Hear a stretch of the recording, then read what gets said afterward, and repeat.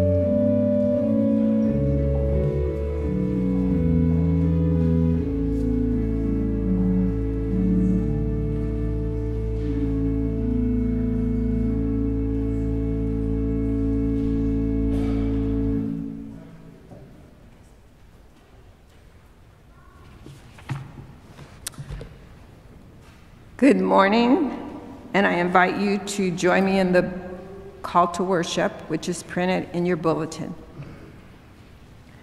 As we gather on this holy day, we hope to be more aware of and to connect with God.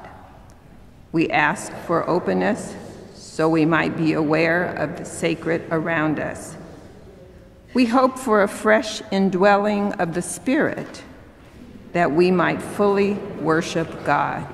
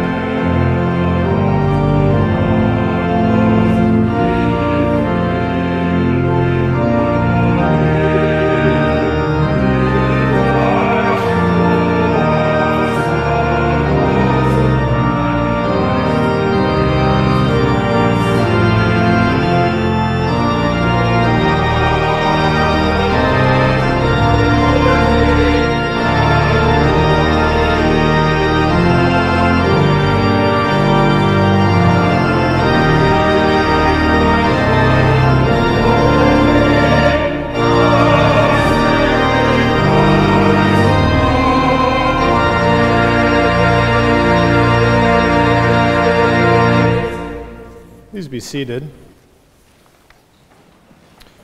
We gather in this holy place that we might know and understand God better.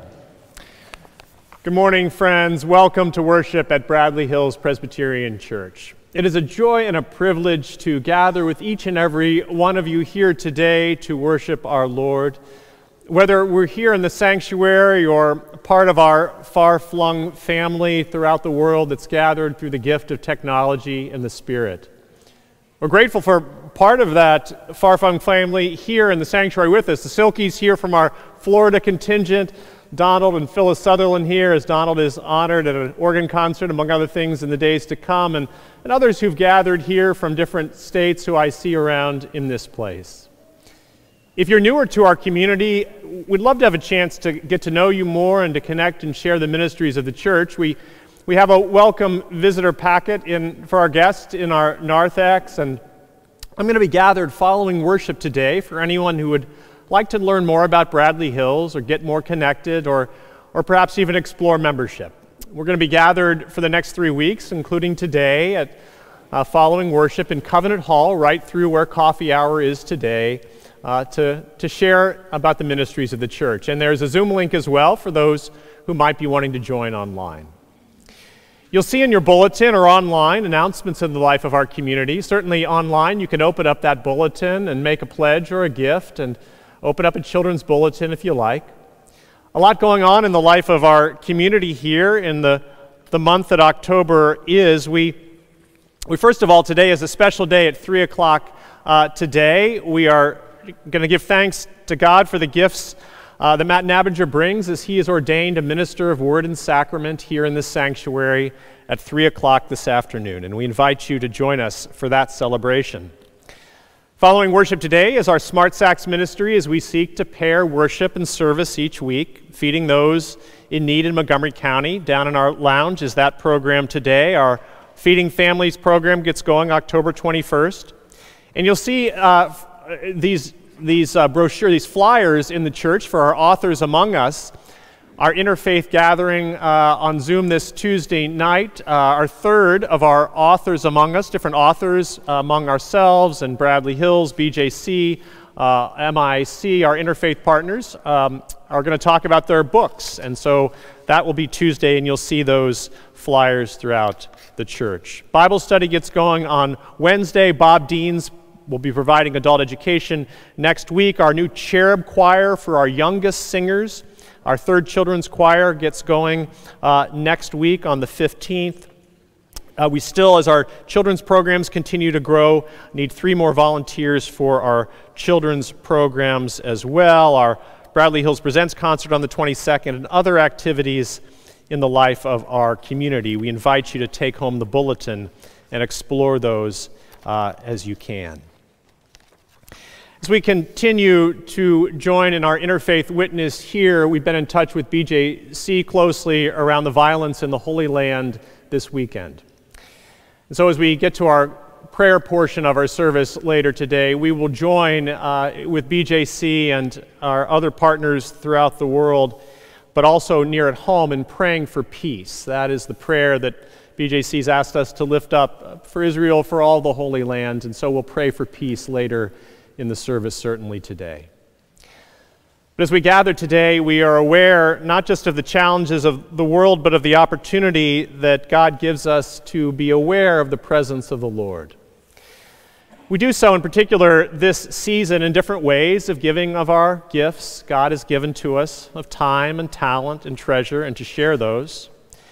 And so at this time, I would invite the opportunity to hear a minute for ministry with you. Penny Clark is here, and I'd invite her to come forward and to share a minute for ministry as we think about the calling we have in this time of year. Penny? I've been a member of Bradley Hills Church since 1996. Um, it's, um, it's been a wonderful time for me coming to love this building, the beautiful grounds around us. It's formed wonderful memories for us. Um, I, the memory of my daughter's baptism, of one daughter being married here in this sanctuary with David performing the ceremony, Matthew providing the music on the organ. Um, of the day in 2002 when one of my daughters took me by the hand and practically dragged me to the choir loft after the service, saying, You have to come sing in the choir.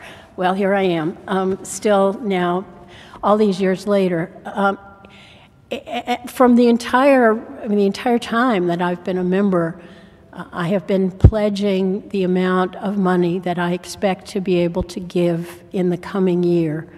This, as you've no doubt discovered, is pledge season when we on the Stewardship Lay Ministry uh, invite you and encourage you to tell the church how much you can give next year and then to faithfully keep that pledge. Um, as a member of the Stewardship Lay Ministry for the last couple of years, I've learned how important it is for the finance lay ministry and session to know how much they can expect in income in the coming year so that they can decide how much they can pay the pastor, the music director, how much they can pay our other faithful employees who keep this enterprise running um, how much they can spend for missions, the things that we do to help our neighbors both near and around the world. Um, how much can be spent to repair the building when it needs repairs. Um, all of these things are very important, and I would encourage you uh, prayerfully to consider how much you can pledge um, ideally, we each pledge a little bit more every year. Uh, every little additional amount helps in order to fund the budget of the church, to make it possible for us to continue the mission that means so much to each of us individually. Thank you.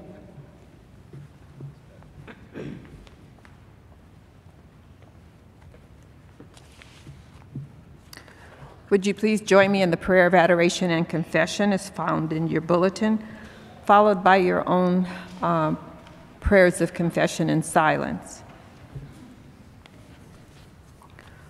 Lord our God, you call us to live the gospel, but we remain silent. You call us to be reconciled to you and one another, but we are separated you call us to seek the good of all, but we too often live for ourselves. Forgive us, O Lord. Give us the courage and strength to be reconciled to you and others. We pray through Jesus Christ as we confess.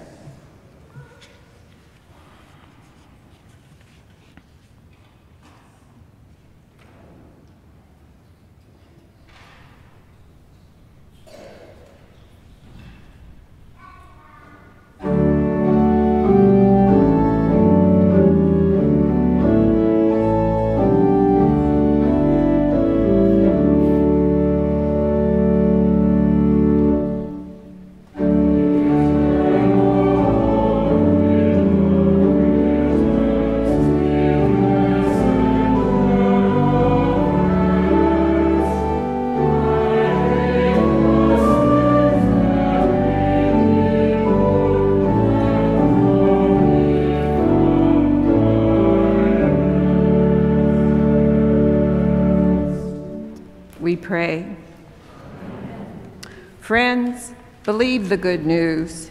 In Jesus Christ, we are forgiven.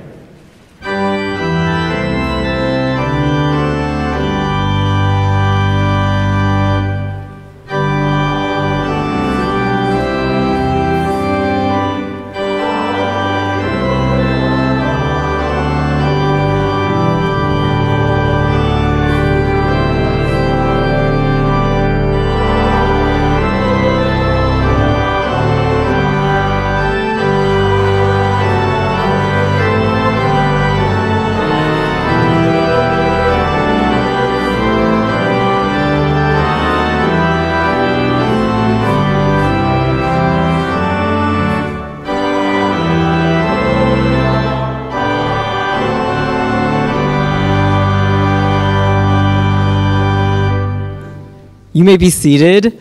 Good morning. Good morning, everyone. Good morning, children. Especially good morning to you. Today is a really special day for me because this afternoon I am going to be ordained as a pastor.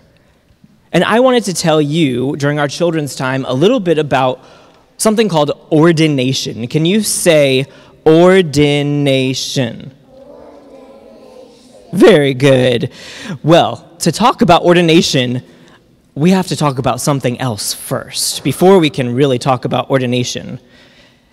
And the something else we have to talk about first is called a call. Can you say call? Not a phone call, not calling across the room to your friend, a call from God. And a call from God is not really something you can hear with your ears. Often, a call from God is something that you just know deep down inside. And you might have some doubts, you might not always be sure, but it's there. Everyone has a call from God.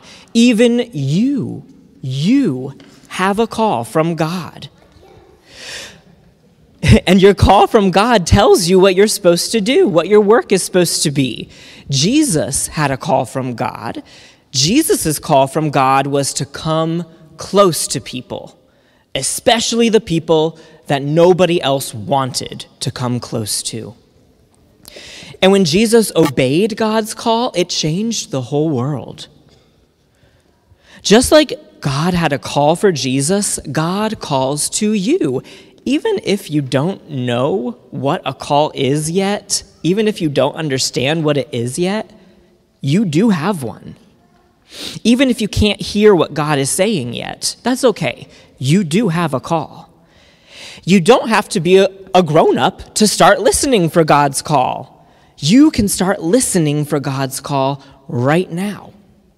We listen for God's call when we pray, or when we read the Bible or hear stories from the Bible at home or at church. We listen, yeah, you do that. We listen for God's call when we are still and silent. And I wonder what God's call could be for you. God has a call for everyone, even if you don't know what yours is yet, you do have one. So now I can tell you about ordination. Ordination is a certain type of call from God. Sometimes God calls people to have special leadership positions in the church, like a pastor. And when God calls someone to be a pastor, the church ordains them. There's a big ceremony. The, the person being ordained answers questions and makes promises. All the other pastors say special prayers for the person being ordained. And at the end of the ceremony, everybody knows this person is a pastor now. And I will be a pastor this afternoon. I will be ordained as a pastor this afternoon. When I was your age, I didn't know God was calling me to be a pastor. I had no idea. But as I listened for God, God helped me to hear that call. I wonder if any of you might be called to be ordained one day. Maybe you could be a pastor one day. You might, maybe you'll give great sermons like Pastor David or Pastor Denise. Maybe you'll visit people who are sick. You'll help make decisions for the church. Or maybe there's a different call for you. Maybe God's call for you is to take care of animals or be like a nurse who comes close to people who are sick and takes care of them. Maybe. Or, or maybe God's call for you is to sing beautiful music and help people come closer to God. You have a call from God. So, what I want you to remember from our children's time today is that God calls all of us to help heal the world. Everyone has a calling that only they can do, even you. If you don't know what your call is today, that's okay. You don't have to worry about that. But I wonder how you could listen and find out what God wants to tell you. Let's pray together. Ready? Repeat after me. Loving God, thank you for calling us to be your people. Help us to listen. Help us to know what you call us to do. In Jesus' name we pray, Amen. Friends, go in peace.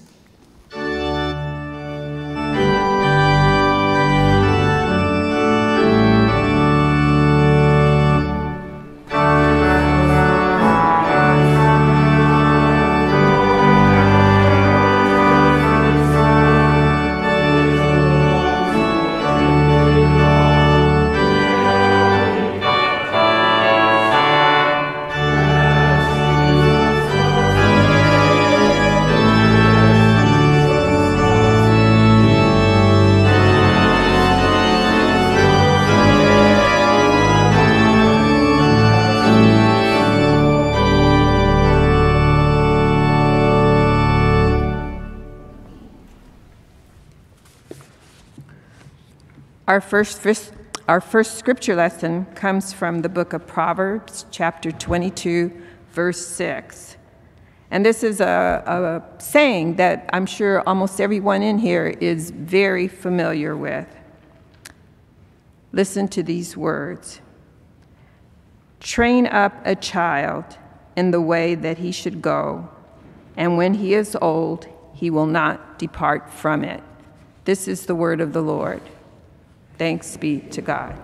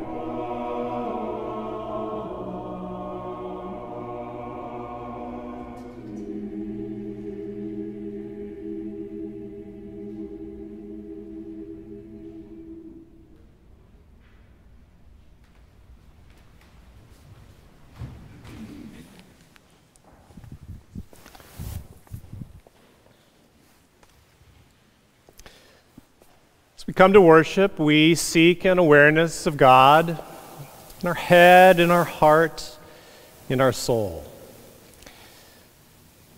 Hear these words now as we continue to explore and mine what the book of Proverbs has to say about that gift of holy wisdom for our living. The Pew Bible's version of what Denise had just read from Proverbs 22 train children in the right way, and when old, they will not stray. From Proverbs 1, which has animated our sermon series this fall, the fear of the Lord is the beginning of knowledge. Fools despise wisdom and instruction. From Proverbs 18 Friends play at friendship, but a true friend sticks closer than a sibling. And from Proverbs 4 Let your eyes look directly forward, and your gaze straight before you. Keep straight the path of your feet, and all your ways will be sure. This is the word of the Lord. As we continue to think about the book of Proverbs, there, Denise is certainly right. That phrase from Proverbs 22 that we hear to teach children in the right ways, and when they are old, they will not stray. It's a well known proverb. It is one of a series on an adult talking to a child and on parenting. A little more popular uh, than thinking about spare the rod and spoil the child, which derives loosely from Proverbs 13, or the idea of a, of a wise son being one who harvests in the summer from Proverbs 10. There are several parts to the book of Proverbs. That central section from chapter 10 to roughly chapter 22, 16, probably advice that was given potentially in a court or to, to someone who might be in a royal situation one day about how to live, but it applies to all of us. Those phrases in that central section there are usually two phrases, not necessarily connected to the proverbs before or after them, but, but tend to, to play off of each other. You can raise a child when they are young, and when they're old, this happens. Or wisdom comes this way, but folly comes another way, or you're to do this in order to avoid that. There are two phrases in most of the Proverbs which tend to relate to one another. Here we come today in Proverbs 22 to a well known phrase that has become for many something that is proverbial. In our culture, we talk about things that are proverbial, like the proverbial, it sticks out like the proverbial sore thumb, right? Proverbial, proverbs, those short sayings which can provide wisdom for our living.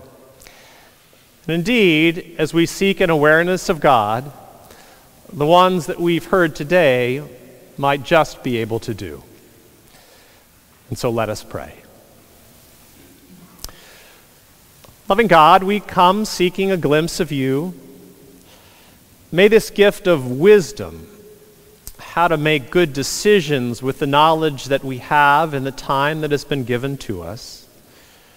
Allow us to recognize that wisdom is a holy gift, that by seeking an awareness of you, we might live with it. In Christ we pray. Amen. Most summers in the first week of August, our family finds ourselves in upstate New York. It's been that way since I was little, and, and for the last several decades, really, part of that first week involves me on a sunfish on Lake George. Sunfish is a boat roughly 14 feet long. As far as I can tell, usually sailed by casual sailors like myself, but, but one day in August of 22, I was a little bit too casual in my sailing. The people who know a lot more about sailing than I do say Lake George is usually a pretty good place because it's, it's not too, too big and the wind is usually relatively consistent. As I was heading out one day there, I got going and I was losing myself in the moment. And before long, I finally realized that I was heading out in one direction while all the other boats were going in a different direction. I hadn't checked the weather report before I started sailing, and the wind started picking up, and with it, the waves. And pretty soon, I found myself kind of alone out in the lake. I started at that point to decide, well, maybe I should head back as well. And as I started to turn the boat around, the wind caught me and knocked the boat over. I was wearing a life jacket. I was bobbing up and down in the middle of the lake. I held on to the to the boat and eventually was able to ride it back up, but when I got in, I was unable to sail it. The sails seemed fine, the dagger board was in, the ropes seemed to be strong. I couldn't figure out why I couldn't sail the boat. But there I was with this strong wind being pushed parallel to the shore, but further and further away from the boathouse. As I began to get further and further away, I was a little bit afraid. I was fortunate that a fisherman and his son, who were in a motorboat, who were heading back home, saw me there and had a cell phone and were able to call in for help, and I was eventually pulled in. But as I sat in that boat, as I reflected later, I, I had sort of two general thoughts in my mind. The first was I was kicking myself at my own hubris, my inability to recognize the moment around me and to respect the wind and the waves as I should have recognized as they grew that I should change course earlier. That phrase from the Proverb 1 that the fear of the Lord is the beginning of knowledge or wisdom is certainly true. Fear of the Lord has different parts to it. One of it has to do with respect for God and the creation. The Creator certainly is much bigger than we are, but so are the natural forces all around us. As one commentator in an NPR report on Yosemite a few weeks ago put it, Mother Nature always bats last. With the World Series this month, that's a wonderful baseball analogy of the last word being coming not from us, but from the Creator or the natural forces around us. They are to be respected. And and I ended up afraid because I did not have a proper amount of fear of the Lord. But another part of fear of the Lord is an awareness, not just that God is present in forces that we can't control, but that we are part of creation too. And therefore, respect for an awareness of God means respecting a God who is intimately related to us and near to us as well. And so, at the moment that I was floating, unable to steer the boat, I began to recite to myself some Psalms. That is typically my default in moments of anxiety. They've served me well in moments of, of medical challenge, they've served me well in moments of anxiety in life. One of you shared with me this week that you're reading the memoirs of Cardinal Joseph Mindszenty, who was uh, in the post World War II period, a cardinal in Hungary who was jailed by the communists for his activities. Zetzi writes that what helped sustain him during his years in prison was reading Psalms over and over again until they lined his soul. I love that phrase of Psalms that lined the soul. It should not surprise us that the bookends of the Psalms include wisdom literature. Job, the great example of suffering in the Bible, precedes the Psalms, and the phrase, the fear of the Lord, is in Proverbs 1, which is the very chapter that follows the last page of the Psalms. It points to an awareness of God within us as part of the creation. As we think about raising up children, or disciples at any point in life's journey in a way we should go so that we will not lose our way, what could be more fundamental than this concept of a fear of the Lord? Both a respect for Mother Nature, certainly for young people who are going to, to need, as we all do, to confront climate change and the importance of recognizing our interrelationship with the rest of creation, respect is critical. And then, whether it's a psalm that lines the soul or another way in which we are aware of God, being recognizing the awareness of God as part of the fear of the Lord will serve each of us well in moments when fear takes on reality for us. I was reading about what happened to a bunch of parrots in August of 2021 the other day at the Lincolnshire Central Zoo in England. The zoo had imported over 200 African gray parrots, and the problem was that five of them were together and could not stop uttering curse words at all of those who were visiting the zoo. The zookeeper said, Well, it's not unusual to have a single parrot that utters curse words. After all, parrots tend to end up on pirate ships, it seems. But to, to have five of them together that couldn't stop uttering curse words seemed unusual and problematic. They had to separate the parrots, the zookeeper said, because they continued to ruffle feathers with the parents. And it was a recognition of one of the great cultural proverbs of our time the proverbial birds of a feather flock together. Because the zookeepers decided that one of these started uttering curse words and the other ones started uttering them too, that, that they were all influenced by but whatever bad apple was first in the flock. Our proverbs would say that some people play at friendship, but others can stick true those who are around us can influence our behavior, right? This is why the church, and all of its imperfections, can be so important. That when Penny lifts up the minute for ministry, how personal a relationship with a church in its many ways can be with her, even for her daughter suggesting that she join the choir, it is, it is through the influences of others who are around us in the community that we are shaped in our discipleship, whether they are older than us or whether they're our children. The friendships that we have here at Bradley Hills, I know, sustained many of you. I've seen the way that played out on Thursday as so many of us gathered for BJC member Marty Ganglass's funeral, the ways in which folks here have gathered in these past weeks to try and prepare for the ordination that Matt talked about that will be this afternoon, or as many of you have walked journeys culminating in the funerals that we'll have over the next week for Lois Johnson and, and Lori Kotchenruther.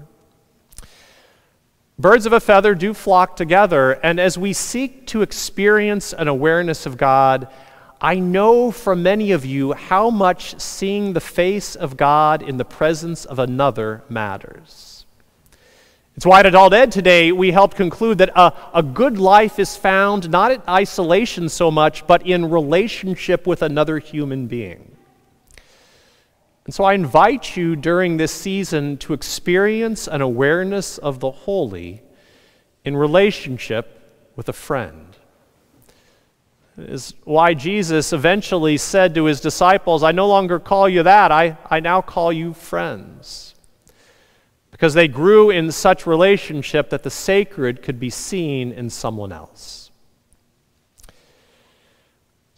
I think we also seek to help those who are young and those who are young at heart grow in the way of the Lord through the concept of seeking to have our gaze or our focus or our steps on the path that is right in front of us. Because there's an invitation in the Proverbs to focus not just on doing the right thing, that is part of what wisdom certainly seeks to help us do, but also to have a focus on an awareness of God with us each step of the way. I was reminded of the importance of focus this week as I kept reading the news story about Sam Bankman Fried, the trial of this 31 year old cryptocurrency trader who seems to have lost $8 billion through his company. And one of the things that was so interesting to me about reading about Bankman Fried was the news reports about how some red flags should have surfaced from those who were lending him money because of his lack of focus that Bankman Fried had this propensity to continue to play video games during important meetings. That he'd be sitting in meetings and he would have this computer next to him or a handheld device and continue to play a game called League of Legends during important meetings. That he played the video game during his own lecture at the Chicago Economic Forum. That while pitching Sequoia Capital for billions of dollars of venture capital, during his own pitch, he continued to play the video game. That perhaps in the age of what Thomas Friedman calls an age of distraction through electronics, that there is wisdom to be found in focus. That is why fear of the Lord seeks to help us to be aware that there is holiness even in the small moments, but that can be experienced most when we are calm and not distracted. And so the sacred moments of music that we experience in worship, or the depth of prayer that we go through in our concerns and celebrations help to try to calm us to allow focus of the awareness of holiness in an age of distraction. You know, that word for way, by the way, in the Hebrew, derek, literally means something that is appropriate for its station. That part of the, the book of Proverbs that is instruction for someone who might well find themselves in a royal court, a particular kind of station.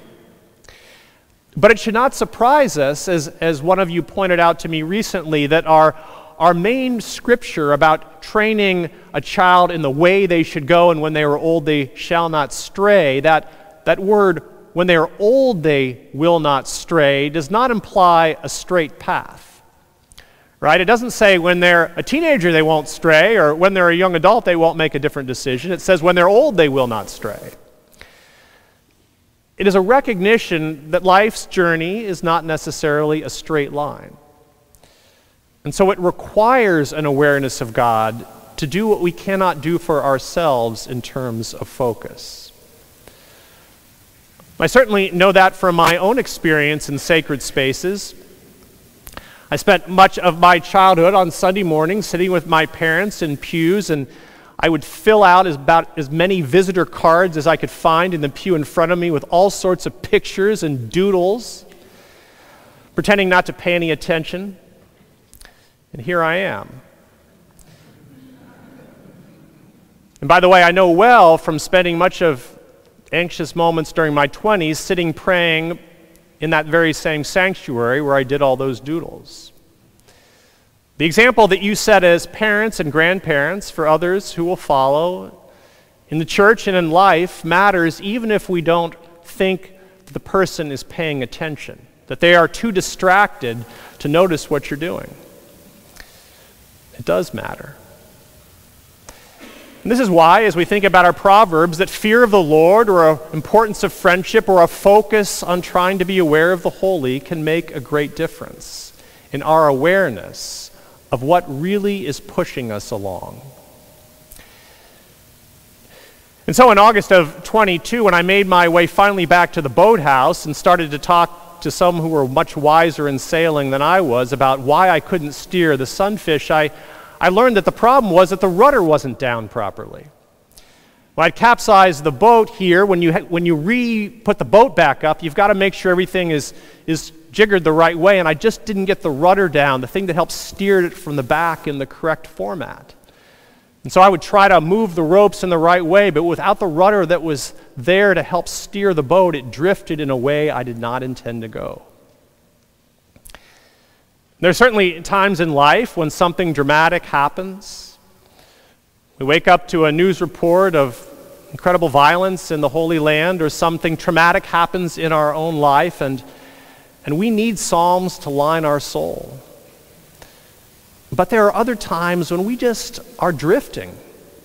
We don't know really what's going on or why, and we turn around one day and we realize that we're off by ourselves. And those friends that can help keep us focused are far away. And is there where the habit of an awareness of God at any moment can make the greatest difference. So we gather each week to reinforce that in our souls. And so this past summer, on the very first time that I went sailing, you better be sure that when I rigged up the boat, I made sure the rudder was on and down in place.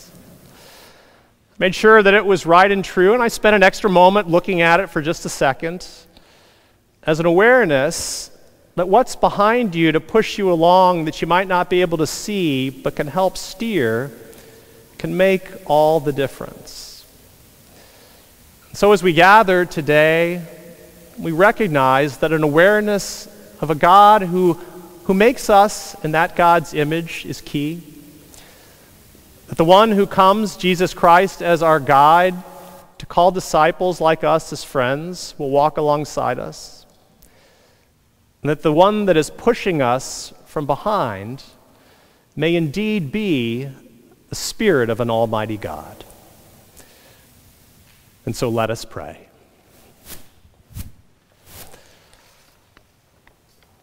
Loving God, help us this day to be aware of you. Allow us to keep our eyes fixed on your Son who guides us.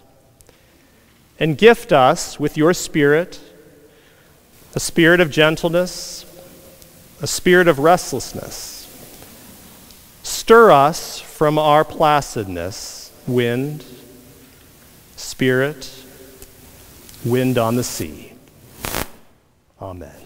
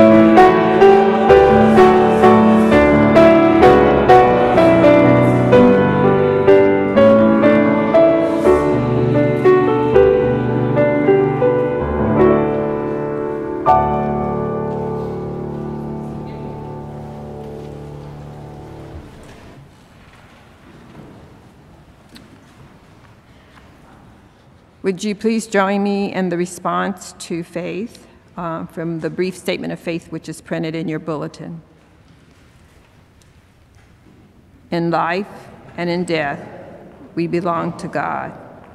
Through the grace of our Lord Jesus Christ, the love of God, and the communion of the Holy Spirit, we trust in the one triune God, the Holy One of Israel, whom alone we worship and serve. Friends, it's time for us to um, show our appreciation and, and give back. Our God is a generous God who offers us unfailing love and faithfulness. So, in love and gratitude for God's gifts to us, we return our gifts and our offerings to be a blessing to others. May the ushers please come forward to receive our gifts. Thank you.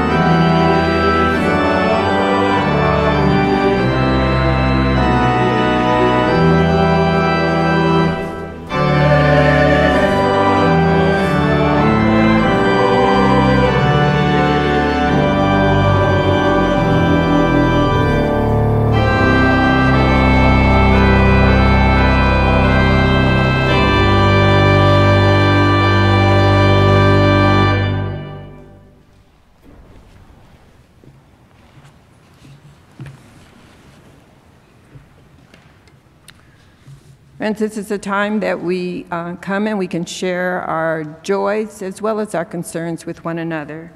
And so at this time, I would like to um, offer the opportunity, whether in silence you do so, but those of you who would like to lift up for, um, for the congregation out loud to offer prayers for your concerns or your joys may do so at this time.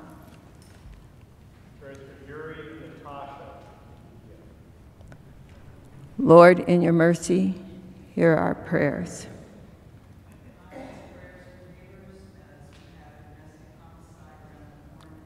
Oh, oh. Lord, in your mercy, hear our prayers. I have a celebration. My great nephew was born today. We had to be here listening to him in the hospital because of some complications. So I ask prayers. So, prayers of celebration. Um, so, with Thanksgiving, we praise the Lord. And then also for um, the complications, but Lord, in your mercy, hear our prayers.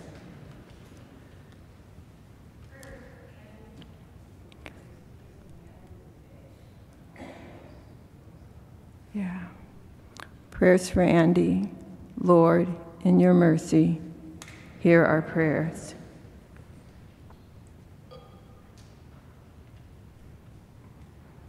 Please join me in prayer. Gracious God, we just come to you always grateful to be able to gather together, gather in person, um, as well as to gather through technology. We thank you for this day. We know that this is the day that you have made, and while we have things that we have many concerns about, that we know that you are present to us through all of it. We thank you for your faithfulness. Lord, just as we have joys, the joy of Matt, who has been with us for several years, doing wonderful work with our children and our youth, Lord, we just give praise and thanks that he has heard your call and will be ordained today. And so we celebrate that.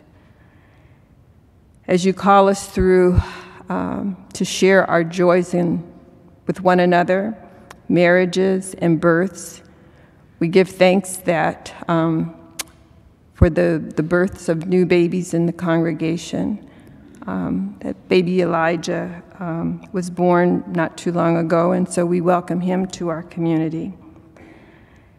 We know that you give us green pastures and that you give us still waters. And then there are the valleys, valleys that we seem to feel that we feel too often these days. And so we ask that you be with those who have loss and grief within their family, the families of Lois Johnson, the family of Lori Kachenrether, and the family of Melissa West. And those who, whose bodies um, are frail and, and are diseased, but Lord, we know that you can lay your healing hands on them to give them comfort, to give them strength as they go through treatments. And so we offer prayers for Sharon and for Peg. We offer prayers for Melinda and for Andy, for Bob and for Chuck, and for Kay. And those who have been unnamed, you know who they are even as we uh, hold them in our hearts. And so, most of all, what faces us today is the news from yesterday, Lord, and we just, um, we know that we continue to hear about the unrest and the, the, un, the violence around the world, and just surprises where we are not being neighbors with one another as you have called us to do. And so we pray for, we pray for what is happening in the Middle East. We pray for those families who have lost loved ones. And so we pray that um, the, the peace that, um, that we know that can exist in you, that that peace comes, a true shalom, the total well-being of all concerned. And so we ask these things in the name of your Son, Jesus, who taught us to pray. Our Father, art in heaven, hallowed be thy name. Thy kingdom come, thy will be done, on earth as it is in heaven. Give us this day our daily bread, and forgive us our sins, as we forgive those who sin against us. And lead us not into temptation but deliver us from evil. For thine is the kingdom, power, and the glory forever. Amen.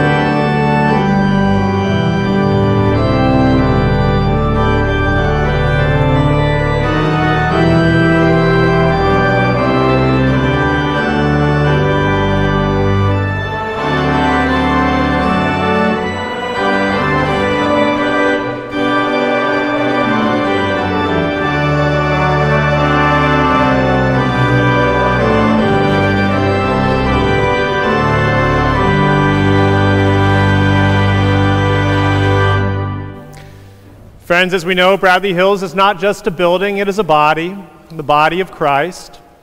You don't just go to church, you, friends, are the church. And so, while our worship is ended, our service is just begun.